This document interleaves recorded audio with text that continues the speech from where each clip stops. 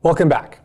So we're walking through different uses of the singular value decomposition for uh, image compression, for dimensionality reduction, and for least squares regression. And so here I'm going to walk you through how to use the SVD for least squares linear regression models uh, in Python. So here's a Jupyter notebook. Uh, this was converted by Daniel Dylewsky. All of the code is at databookuw.com. And we're going to work out how you can use, um, use the SVD to build these linear regression models from data. Okay, so uh, I think this is a pretty fun example. And I would always point out, if you want to use a mathematical tool like the pseudo inverse or a least squares model, it's good to practice using it on a system where you know the answer, where you actually know uh, what the what the right answer is, so you can see if your method is working before you apply it to new data where you might not know the answer. So here, what we're going to do is we're going to have data uh, pairs A and B. So these are going to be kind of scatter plots of data that we believe has some linear relationship. And we're going to try to find the best fit line uh, with slope x so that ax equals b. We're going to try to solve for x that is in some sense minimizes the sum of the squares of the errors of all of these blue points from this yellow line. Okay, that's the least squares solution, and we can solve for it using uh, using this uh, the singular value decomposition. Okay.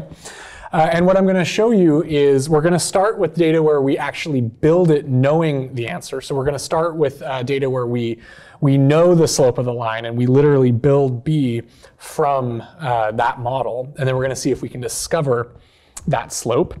But everything I'm going to show you generalizes to the higher dimensional case where, uh, where maybe I have A times X equals B where there are multiple factors A that we're going to use to build a model for B. So there might be multiple columns in this A matrix.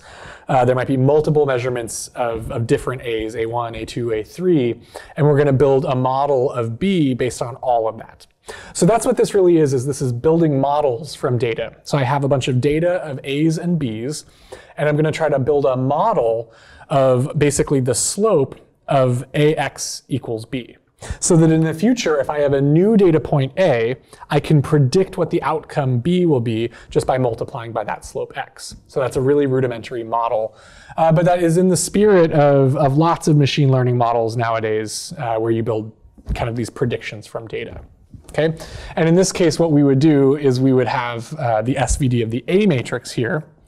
So we have A equals U sigma V transpose. And we could build our best fit x tilde by taking the pseudo inverse of A. So we can invert these matrices one by one. And we would get um, U transpose sigma inverse V. So this is the least squares solution, the kind of the pseudo inverse solution for the best fit slope given uh, that matrix, that, that information uh, in A and in B. So if you measured A and B, you can find this slope. And this generalizes to higher dimensional distributions where you have multiple uh, input directions A and some output variable B. Good. So here we're going to cook up data for kind of this A, the single input, single output system uh, where we know the slope is three, and we're going to build a uniform distribution of A points we're going to multiply them by three to get B, and then we're going to add some white noise onto that so that it looks a little noisy. Okay, that's what we're going to do here is take X times A plus some random noise, okay? And then I'm going to plot those points, and I'm going to plot the true line. And then what we're going to do is we're going to compute this best fit line using the SVD down here. So we're going to take the SVD of A, we're going to get our U, our sigma, and our V transpose. We're going to build this uh, least squares best estimate for U tilde, just like what I wrote here. It's um, V transpose transpose is V times inverse of sigma times U transpose times B. And then we're going to plot the true line, the approximate line, and the data all on top of each other. So that's what we're seeing here. Let's run it. And you can actually see it's pretty good, okay? So the true line is this, this white line here. And even from those noisy blue x's, you get a pretty good estimate of that line slope in yellow here. This is our best fit regression line. It's pretty darn accurate just from this noisy data.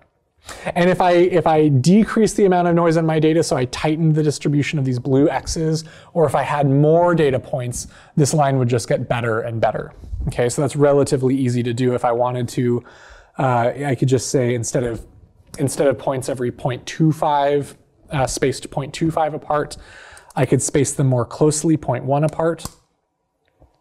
And in principle, my line just gets better and better. Okay, so this is a really, really simple example. You don't technically need the SVD of your, of your A here, but I'm showing you this in a way that would generalize to data that had multiple input factors. Okay. Uh, and just to point out, there are other ways of computing this best slope line. So this is the SVD approach uh, that we just used. This is x tilde 1.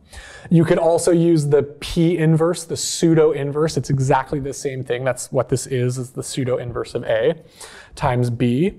Uh, there's a third method we have in the book, regress b comma a, but that's only specific to MATLAB. So really you have to use these two, uh, these two uh, commands in, in Python. Okay, so very easy to take data pairs A and B and build a model for the slope that relates those that you could then use uh, in the future. Okay, thank you.